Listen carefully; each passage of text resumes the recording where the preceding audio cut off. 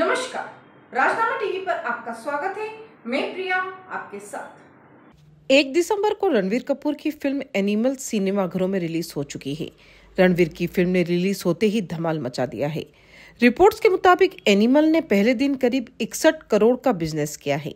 आज का दिन रणवीर के लिए डबल खुशी लेकर आया है, क्योंकि 2 दिसंबर को उनकी बेटी राहा ने पहली बार चलना सीखा है। खास पल पर आलिया भट्ट ने इंस्टाग्राम पर एक इमोशनल पोस्ट शेयर की है। एक तरफ़ एनिमल ने रणवीर के सुपरस्टार होने का टेक पक्का किया है, वहीं दूसरी ओर शनिवार को आलिया रणवीर की बेटी राहा ने पहला कदम रखा।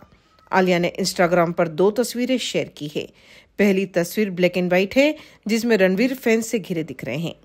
दूसरी फ़ोटो में वो राहा को गोद में लिए हुए किताब पढ़ते दिख रहे हैं, जिसमें लिखा हुआ है कि I love my date photo share करते हुए एक्ट्रेस ने लिखा, हर उस चीज़ के लिए जो आप ऑन और ऑफ़ कैमरा हैं। धैर्य शांति और प्यार के लिए जो आप अपने क्राफ्ट को देते हैं। उस शख्स के लिए जो अपनी फैमिली के लिए है।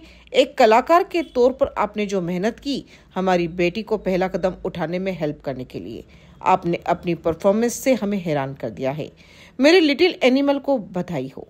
पति और बेटी के लिए आलिया की स्वीट सी पोस्ट ने फैंस का दिल जीत लिया है।